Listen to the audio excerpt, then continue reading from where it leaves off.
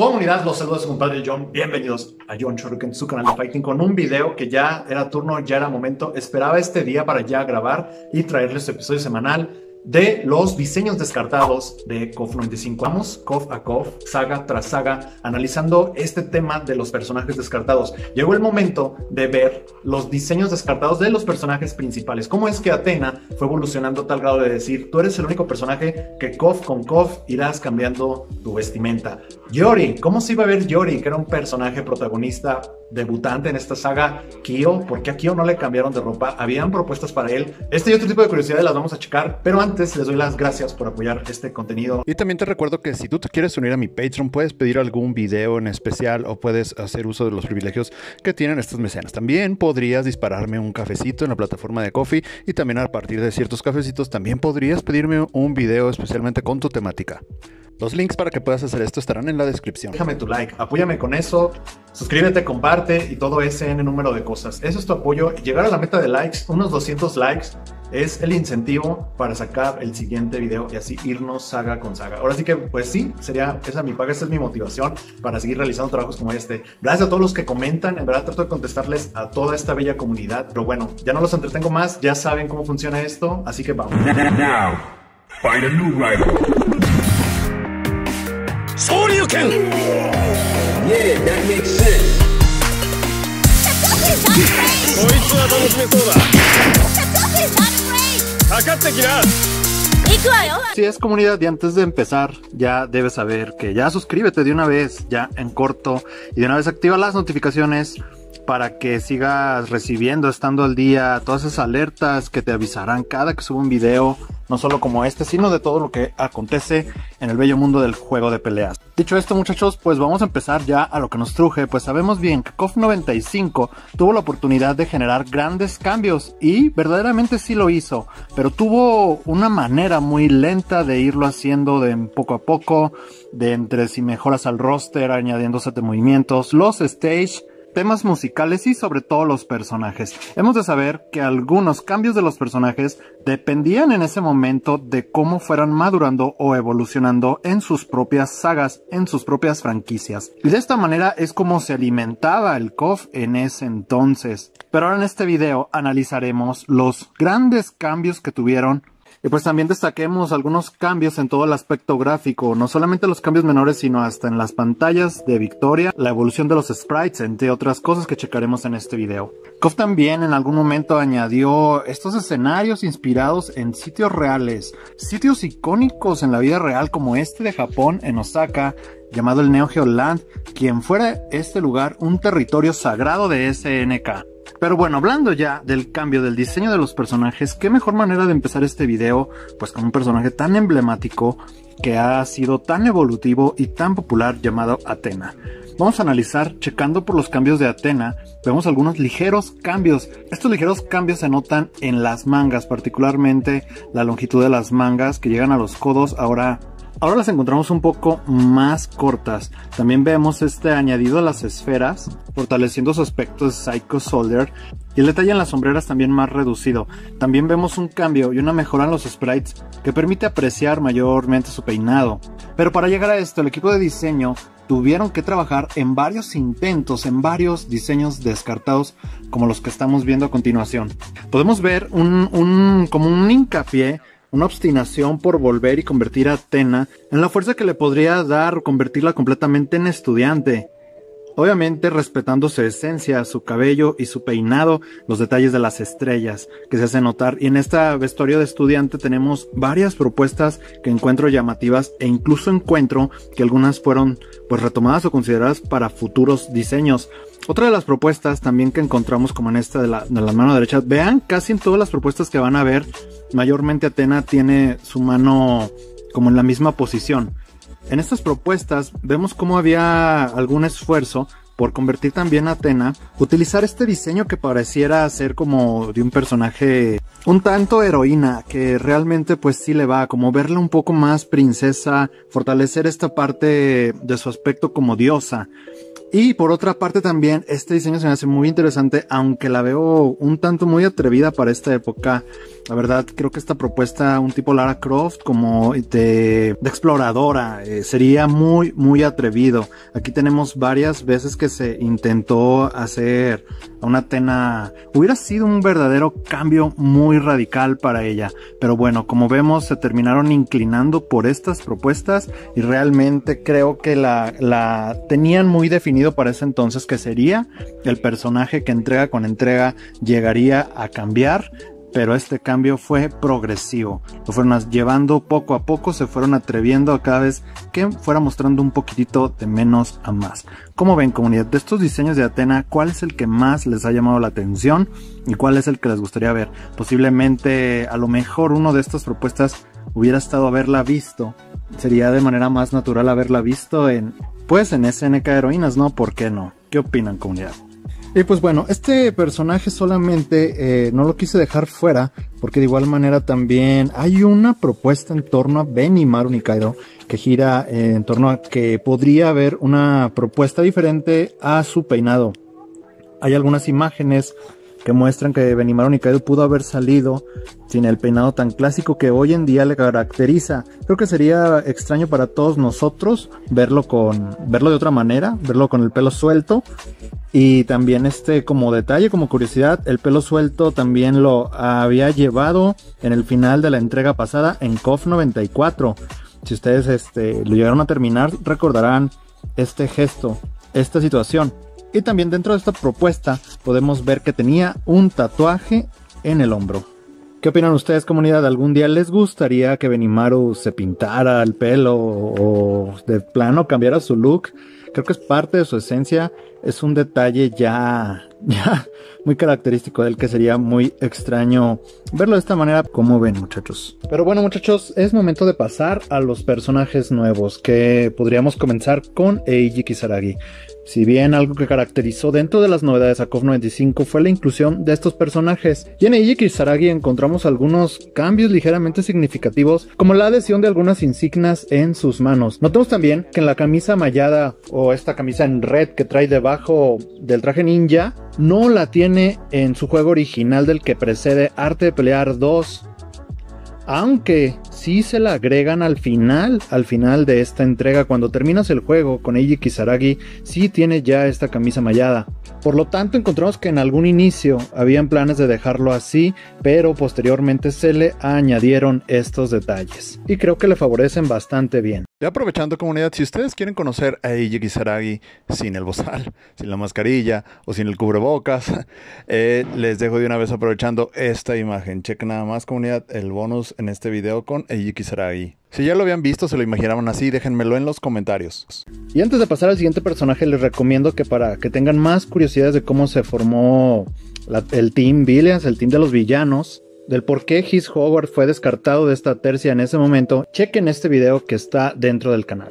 Ahora sí pasemos a Billy Kane. Sabemos bien que Billy Kane apareció inicialmente en el juego de Fatal Fury y el aspecto que tendría que tocarle por consecuencia del que se tomaron a todos los personajes de Fatal Fury sería su aspecto en el Fatal Fury 2 Special, pero los creadores decidieron tomar el diseño de la primera aparición de Billy Kane que se encontraba dentro de Fatal Fury, este del pantalón de pechera, sin playera abajo, descartando completamente su estilo con la camiseta de Inglaterra y esta opción fue simplemente por respetar a su origen. Había tanto gusto por los desarrolladores de, por este diseño, tanto así que fue retomado para la KOF 13. Consideremos también que en este momento no salía Fatal Fury Real Boat, donde su aspecto completamente se revolucionó y sabemos que fue con el que regresó para KOF 97.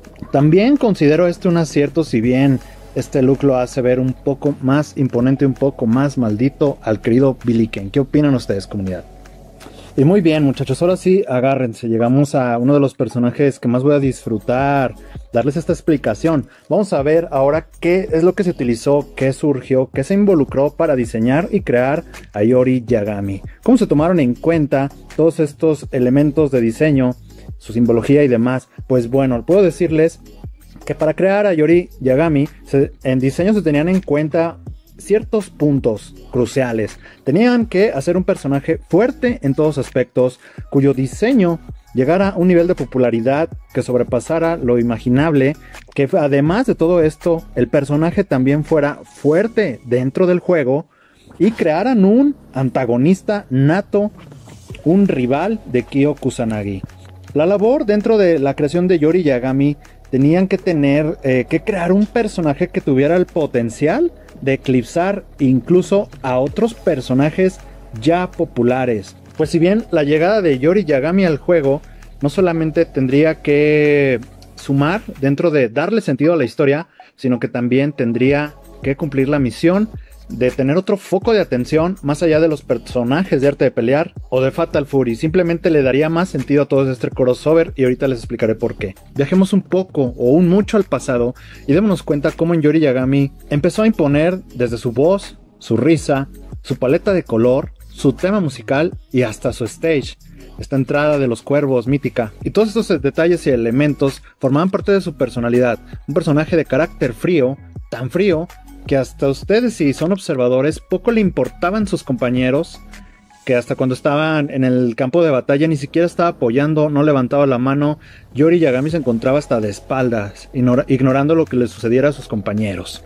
Pero bueno, vamos ahora a checar, analizar cómo es que Yori Yagami llegó a formalizar para KOF una trama, una historia y hacer que KOF dejara de ser solo un crossover. KOF 95 sabemos bien que inicia la saga de Orochi y la simbología se hace presente en Yori, ya que adopta en su diseño algunos elementos de la leyenda Yamata Norochi con la media luna en su espalda. Y también tomemos atención a que el personaje tiene apellido y es Yagami, que este representa a su clan. Pero también sabremos que en un inicio, esto era apenas un inicio, de lo que sería la saga de Orochi, desde que la saga de Orochi tomara forma, la forma que hoy conocemos, existen algunos diseños donde Yori pudo haber debutado sin esa chamarra de corte torero y solo salir con la pura camisa blanca que le caracteriza, ya que les he explicado ahora que el por qué se le agregó esta chamarra para poder poner en ella la simbología de la luna aplicada en su espalda.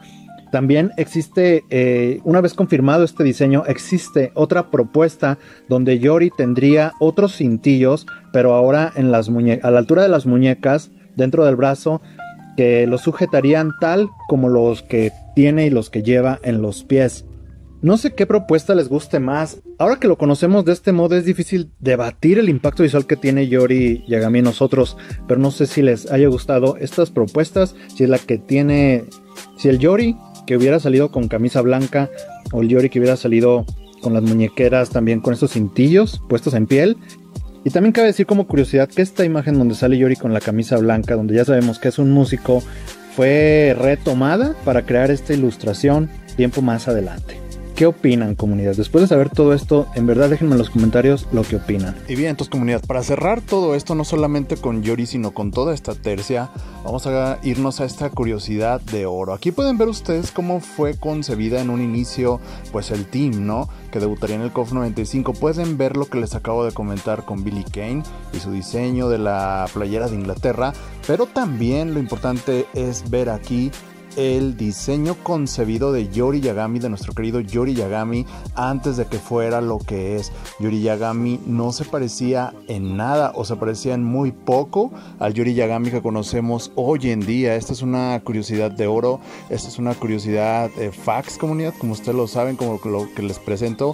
Y rotundamente creo que estamos súper casados de por vida con el diseño de Yori Yagami de hoy en día. Este, este Yori de algún modo no se ve tan imponente tan malvado, tan sangriento, tan frío, tan todo lo que conocemos y que nos evoca el Yuri Yagami que tenemos hoy en día. Déjenmelo en los comentarios, comunidad, todos aquellos pensamientos que se les vengan a la mente, al ver cómo hubiera podido haber sido no solamente Yuri Yagami, sino esta tercia. Avancemos con la historia, con KOF 95, con toda esta línea de curiosidades. Y ahora es momento de seguir esta línea con el mismo protagonista, para seguir explicando la rivalidad de Yori y Kyo que en KOF 95 se formalizaba. Este es el KOF 95 que ya plantea historias y varias historias. Y ahora es que vamos a checar de qué manera es que pudo Kyo Kusanagi haber madurado de un año a otro de KOF 94 a KOF 95. Vamos a empezar por la parte de la simbología que en el caso de Kyo también había que fortalecer. Si bien sabemos que este detalle del sol en la espalda en Kyo ya había aparecido, había que reforzarlo para complementar un poco más esta rivalidad y esta historia para KOF 95. Y de esta manera es que para reforzar esto, si bien se agregaron estos soles dentro de las muñequeras o los brazaletes que lleva, que son parte de sus guantes, tanto como también en su chamarra a la altura del cuello. Si no, chequen muchachos. También cabe destacar en su apellido Kusanagi haciendo referencia a la espada y a su clan como parte que fortalece la leyenda de Orochi, y ahora sería parte de la historia. Y bien, de la misma manera que a Yori, existe una propuesta donde se planeaba poner a Kyo sin chamarra. Esta propuesta tuvo que ser descartada por el mismo tema de seguir fortaleciendo la presencia de la simbología dentro de su indumentaria. Y en cuanto a su indumentaria, también existe un diseño descartado que sugeriría a un Kyo Kusanagi con un cambio mucho mayor, un cambio de ropa, dejando así de lado su aspecto estudiante. Un cambio que lo haría ver un tanto más maduro, más frío, más solitario, más independiente, pero este cambio fue descartado por un poco de miedo por parte de los desarrolladores, ya que era un personaje protagonista con el que apenas estabas familiarizando en su imagen y sería un cambio como muy radical. Si bien sabemos ahora con el paso de los años la respuesta que nos ha dejado ver el tiempo, que los cambios en cuanto a diseño para Kyo Kusanagi llegarían un par de años después. Sé que este diseño podría remontarlos a otro diseño retomado para KOF 13. Qué casualidad que casi la mayoría, si ustedes ven toda esta serie de videos que les he traído semana con semana desde la KOF 94, muchos de ellos fueron tomados para KOF 13, la mayoría en su totalidad. ¿O qué opinan ustedes muchachos? Último personaje para cerrar esta línea de videos comunidad, se trata del villano más poderoso que se pretendía crear para este entonces, Rugal. Rugal, que en COP 95 tendría su mayor fase como Omega Rugal. Si ustedes quieren saber más curiosidades sobre cómo se formó el diseño de, Rugal, pueden, nuevamente los invito a checar este video dentro del canal. Es parte de la serie que les he traído del camino a COF 15. Pero bien, volviendo al tema, para Rugal existe esta propuesta tan irreverente, esta propuesta un tanto bizarra pues se supondría que al querer convertir más poderoso a, Rugal, que sería corrompido por el poder de Orochi, encontramos una alternativa que sugieren los desarrolladores, donde este Rugal de seis brazos y tres cabezas tendría que sugerir una propuesta en donde él sería capaz de absorber no solamente los poderes, sino las personalidades de Wolfgang Krauser y His Howard todos sabemos a estas alturas que sus poderes están inspirados en ellos como máximos villanos de, pues, de los juegos de pelea de SNK, pero aquí quieren llevar esta idea más allá. Rugal siendo capaz de absorber a los personajes por completo, no solamente como, como en espíritu, como energía, como en poderes, sino por completo para poder ejecutar sus movimientos tal cual, teniendo incluso la cabeza de Wolfgang Krauser de un lado, ahí pueden como apreciar un tanto el bigote de Wolfgang Krauser y del otro lado la cara de His Howard. ¿Qué les parece esta propuesta? Hubiera sido muy atrevido por parte de SNK, les habría gustado haberlo visto, tal vez se vería un poco más gigante, más brutal, eh, pero también creo que la llegada de este lugar llegaría pues a afectar básicamente todos esos memes y cosas que ustedes saben muy bien, fanáticos de KOF, que se dicen eh, hoy por hoy de Rugal, sobre todo si hablamos del Rugal, si eliges a Rugal en la 2002. ¿Qué opinan muchachos? Dejen sus comentarios.